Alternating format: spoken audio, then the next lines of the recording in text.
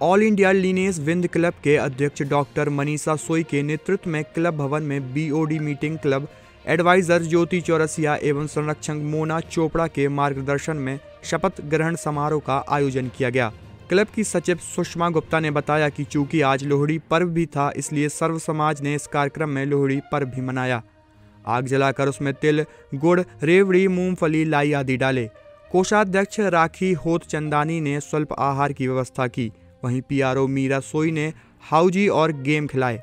कार्यक्रम में निधि गुप्ता, गीता चौरसिया, मोनिका कत्याल, रोली गुप्ता, सपना मुखर्जी, नीतू सोई, सुधा सविता, रेणु जागृति सिंह आदि उपस्थित रहीं।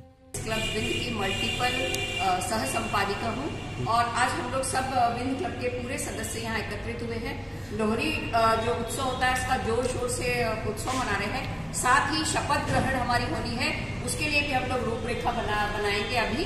क्लब अध्यक्ष, आज हम लोग सभी रोटरी लाइन्स क्लब भवन में लोहड़ी सेलिब्रेशन के लिए एकत्रित हुए हैं। और सर्वधर्म समान टॉपिक पे हमने ये लोहड़ी सेलिब्रेशन किया और साथ ही साथ जनरल मीटिंग हुई और सबने मिलजुल के मस्ती डांस और गाने गाए। बहुत मज़ा आया।